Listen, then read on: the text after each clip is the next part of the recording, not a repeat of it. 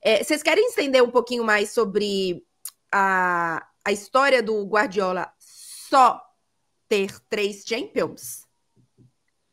Então, é, é, só rapidinho o que eu já falei antes. Eu acho que competição de mata-mata entra em um, uma outra categoria. A competição de ponto, pontos corridos, tu tem que ser regular dentro dessa competição, é, tá fisicamente preparado para aguentar meses e meses e meses, é, e, enfim, se o teu jogo conseguir se impor ao do teu rival, tu vai ganhar ela. A competição de mata-mata, para mim, ela entra em outra categoria, que outros fatores interferem. São 180 minutos que tu joga a seguir ou não seguir. E aí, eu acho que nesse ponto, quando o Guardiola abdicou um pouco de só jogar da forma que ele acredita e passou a olhar mais para o rival, o que, que ele tem que fazer para ganhar? Ele conseguiu ganhar uma Champions.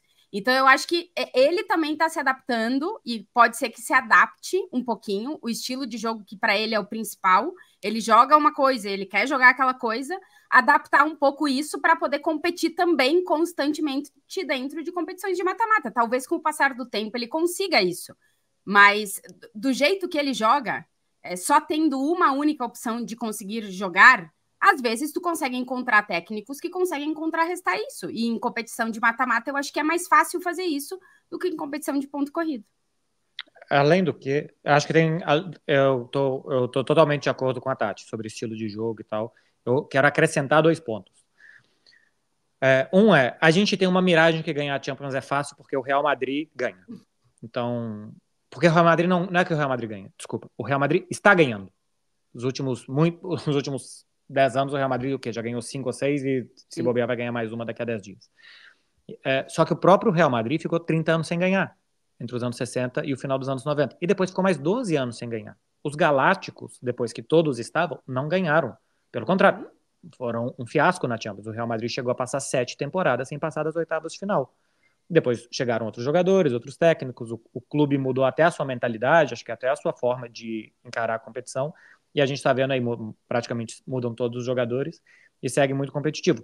Só que o fato do Real Madrid estar ganhando muito recentemente não quer dizer que sempre foi assim e não quer dizer que é assim para todo mundo. O Bayern de Munique ganhou três Champions no século 21. Ganhou em 2001, aí ganhou em 2013, aí ganhou em 2020. O Milan ganhou uma, não foi? Ganhou, ganhou duas, ganhou 2003 e ganhou 2007. É. O Barcelona ganhou cinco no total, ganhou nessa era dourada de Ronaldinho e Messi quatro, antes só tinha ganhado uma. Então ganhar a Champions é difícil pra caramba, até pro Real Madrid, que passou 30 e depois passou 12 anos sem ganhar. É, esse é um ponto, que ganhar a Champions não é algo que é normal contar que você vai ganhar sempre. É muito difícil de ganhar. E o outro ponto é que o Guardiola tem menos Champions que ele merece. Olha os, os melhores momentos de Barcelona e Inter de Milão de 2010. Os melhores momentos de Barcelona e Chelsea de 2012 o vencedor não é o merecido pelas chances criadas. E, e nem digo que é choro porque eu torço para o Barcelona, porque assim, o Barcelona criou o suficiente para em uma eliminatória normal de 180 minutos vencer esses dois times. Só que tem um fator sorte e azar no esporte que eu acho que tirou do Guardiola muitas Champions que ele merece. Essas duas, pelo menos a de 2012 contra o Chelsea, o jogo em Stamford Bridge e no Camp Nou são dois amassos do Barcelona e sabe-se lá como um termina 0 a 1 e outro termina 2 a 2 O Messi, inclusive, chega a perder um pênalti, né? No 2 a 1 aqui, no 2 a 2 aqui do Camp Nou, quando tá 2 a 1 E depois pega o Atlético de Madrid Bayern de Munique de 2016. 16. É um, você trabalhou nesse jogo, né, Tati? Nesses uhum. jogos. É um absurdo os dois jogos. E o Bayern não passou. Porque acontece? O Manchester City Real Madrid de 21 22 é uma miragem o, 2, o 4 a 3 e o 2 a 1 do Real Madrid, que depois vira um 3 a 1 porque futebol de vez em quando tem dessas coisas.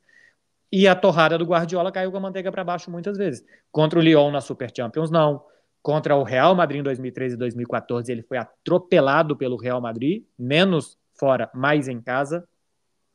E neste ano ele mereceu perder, embora tenha atacado muito mais. Eu acho que o Real Madrid me pareceu superior ao Manchester City, mais coerente do que queria fazer mais parte do tempo. Foi eliminado para o Tottenham, foi eliminado para o Mônaco, em vezes que ele mereceu. Mas teve outras vezes que ele merecia mais. E, a, e de vez em quando cai com a manteiga para baixo. E a dele caiu mais com a manteiga para baixo que com a manteiga para cima. Acho que o Guardiola deu mais azar do que sorte nessa competição nos três clubes que ele dirigiu. É, ele um termina o argumento dele dessa forma. Entendeu? Claro, acaba é com um pouco polêmico. É, eu, eu assim, eu eu, eu, eu é entendo que vale.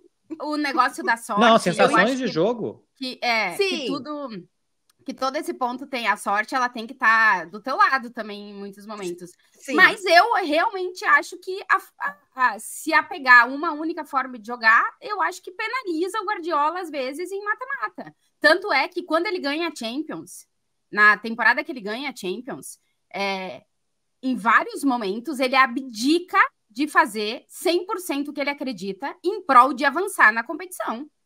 E uhum. eu acho que isso é um passo que pode fazer com que a partir de então, ele seja mais competitivo em competição de mata-mata, porque competição de mata-mata, se tu só olhar para ti, só fizer o que tu acredita, muitas vezes o teu rival vai ser superior a ti, porque tá olhando mais para ti.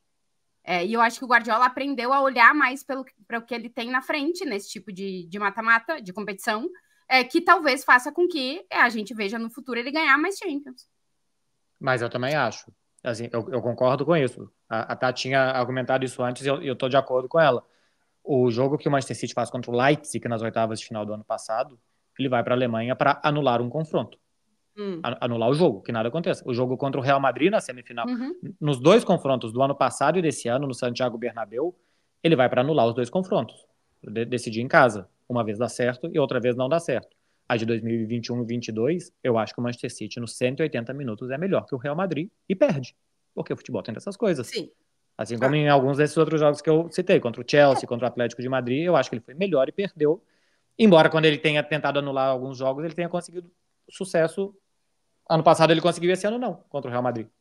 Os é, dois ele anulou no Bernabéu, com empates. Um, um ele decidiu em casa, no outro não. No fim das contas, quando a gente tem, primeiro, que a Liga dos Campeões não é fácil, e segundo, que a diferen... uma das diferenças do mata-mata para pontos corridos é que no mata-mata a sorte e a imprevisibilidade e o fatorzinho futebol aparece mais do que na regularidade do que uhum. nos pontos corridos. Então, por mais que ele seja o melhor aqui, chegando a chegando a essa conclusão, digamos, em pontos corridos, isso vai fazer menos diferença na Liga dos Campeões. E por isso que a Liga dos Campeões é tão maravilhosa e tem final daqui a 10 dias.